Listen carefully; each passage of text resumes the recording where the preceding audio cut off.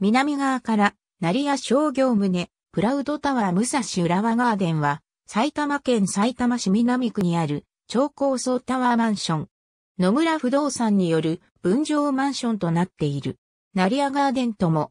武蔵浦和駅周辺の再開発事業の一つである、武蔵浦和駅第4街区第一種市街地、再開発事業 B ブロックの B 棟として建設された。B ブロックは商業施設や駐車場棟も含む。再開発前は工場や住宅などが混在し、西側と南側にはコンクリート張りの水路が流れていた。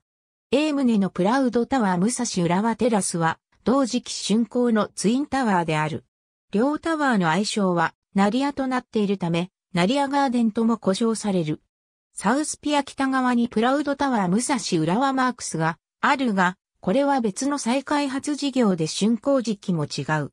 武蔵浦和駅からペデストリアンデッキで直通徒歩5分の場所にあり、2LDK から 4LDK の間取りが用意され、4000万円台9000万円程度の価格で分譲された。4街区は武蔵浦和駅周辺の再開発事業の中では、8から1街区のミューズシティザファーストタワーに次いで4番目に完成した。再開発後は道路の拡幅のほか、歩道の整備、植栽が整備されている。アイテック計画武蔵浦和周辺地区事業概要。ありがとうございます。